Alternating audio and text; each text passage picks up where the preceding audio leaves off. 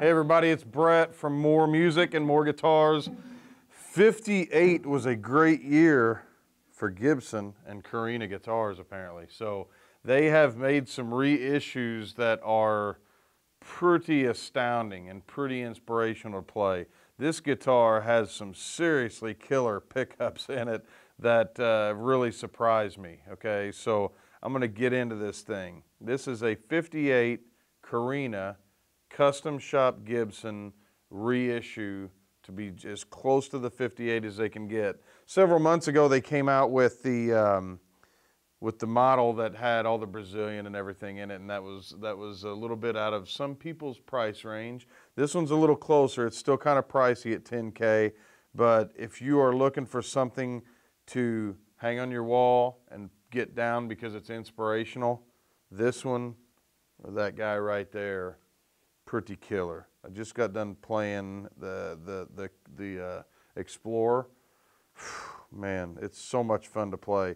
And to look down and think you, you know, I think they said they only had like 19 of those things. They only built 19 of them, so unbelievably rare. This thing is just like, you just, it just makes you play better because you feel good about it. You're, you're sitting here, you're looking down at your hands and you realize you're playing a Korina Flying V, and you're just playing it, you know, it's killer. So anyway, it's got the most important feature, which is that, keeps it from sliding off your leg. Um, just fun to play. So let's go through the specs. Uh, you can read through that if you want, but it has an output jack.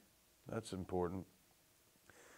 Fact, uh, era correct uh, pick guard, um, volume, volume tone, three-way switch to pick between the pickups. These are Custombucker pickups, both of them.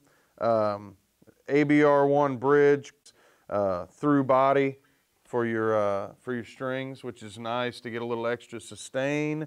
Um, gold hardware, which is just on any other guitar I don't like. I just don't, I don't dig. You know, there's some Les Pauls that I can get along with, but, uh, but this guitar meant to have gold hardware uh, Indian rosewood fretboard, vintage style Kluson tuners.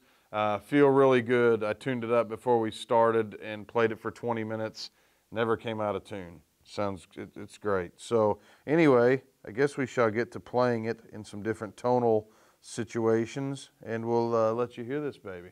Cool. So let's, uh, I'm going to go ahead and do the, um, I'm going to sit like this now that you've seen the, the beauty. Uh, I'm going to sit like this. It's a little more comfy for me to play. Um, so I'm neck, distortion or gain setting on the amp. Uh, just play a little bit.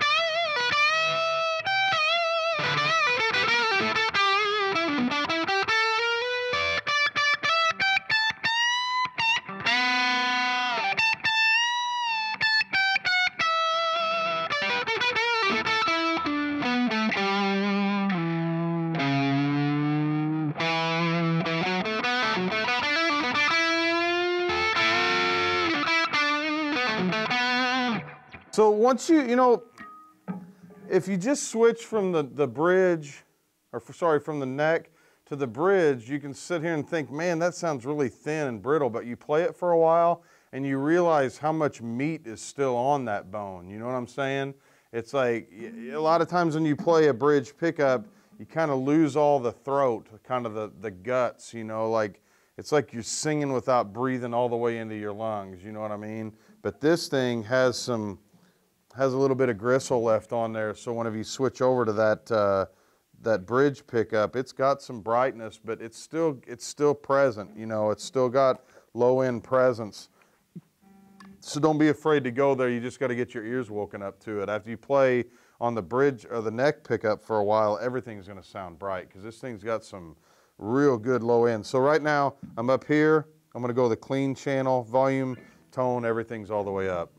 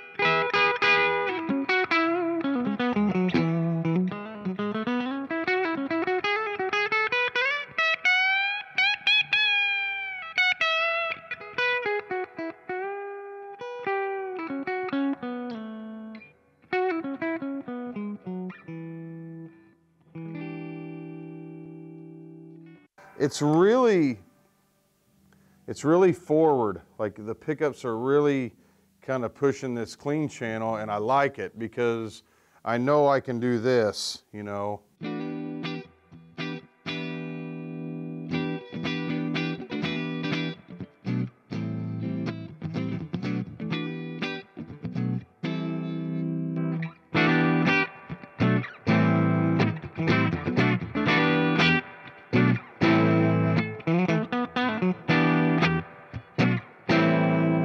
That's cool. It can do a lot, guys. It can really do a lot.